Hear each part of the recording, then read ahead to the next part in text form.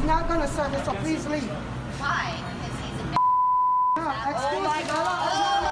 Oh a shocking and offensive video circulating online. A woman's racist rant targeting a Lower East Side bagel shop employee over wearing a mask. And now we're hearing from that employee. News 4's Myles Miller is on the Lower East Side right now with the way the woman in the video appears to be justifying her outburst. Myles. Well, Chuck, she says she was having a bad day, and she says she can use that racial slur because she herself is a black woman. The target of a racist tirade at a Lower East Side bakery speaking out for the first time.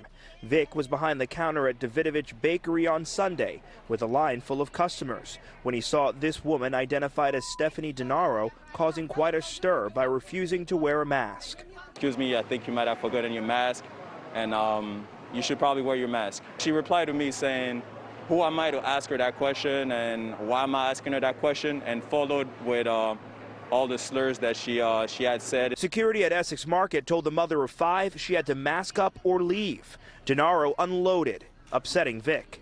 I really felt offend- offended by those words. Denaro was home when News 4 paid her a visit, but she told us she isn't talking to anyone. She's been posting on Instagram, all in an effort to justify her actions. In one post, noting, quote, I was having a bad day.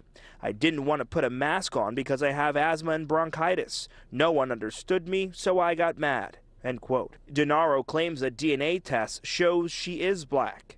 In several other posts, she has called the coronavirus pandemic a hoax and has protested against the state's mask mandate.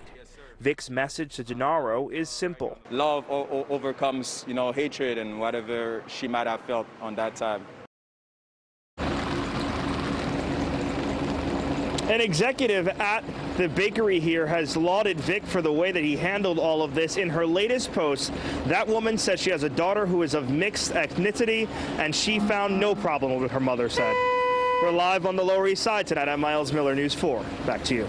All right, Myles, thanks for the latest there. Well,